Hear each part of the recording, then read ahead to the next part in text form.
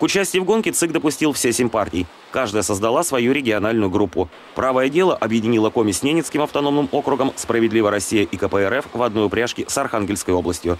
Региональные группы «Яблоко», «Единая Россия», ЛДПР и «Патриотов России» пошли от республики. В бюллетене партии располагаются вот в такой очередности. В регионе напечатают почти 750 тысяч бланков для голосования. По традиции они будут на двух языках – русском и коме. При переводе на коми язык наименований политических партий, фамилий, имя, отчеств кандидатов практически неизменно. Традиционно мы э, на федеральных выборах приняли решение о том, что для избирателей, владеющих коми языком, э, мы будем переводить наименование избирательного бюллетеня и порядок заполнения собственного избирательного бюллетеня. Председатель избиркома республики не считает нынешнюю кампанию горячей порой. Пока в комиссию региона поступило всего 11 обращений по нарушениям закона. Традиционно участники жалуются на агитацию политических конкурентов. По двум заявленным нарушениям составлены протоколы. Один из них составлен органами внутренних дел и направлен в суд. А, другой протокол а, составлен в отношении представителя средства массовой информации, членам избирательной комиссии, также направлен в суд.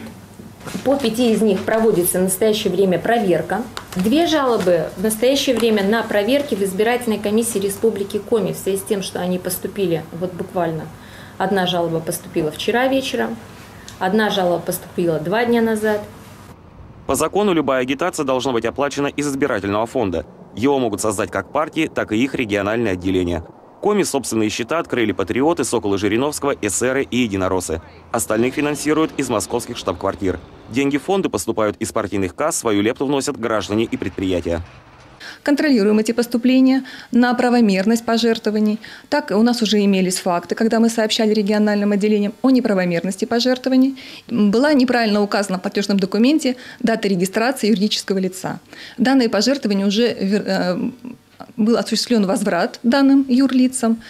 Всего за период кампании на счета региональных отделений поступило почти 3 миллиона рублей. Борьба за симпатии избирателей уже обошлась в 2 миллиона.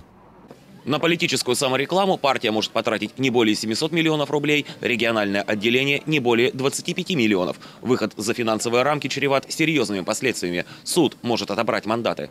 Максим Катаев, Владимир Шишкунов, телеканал «Юрган».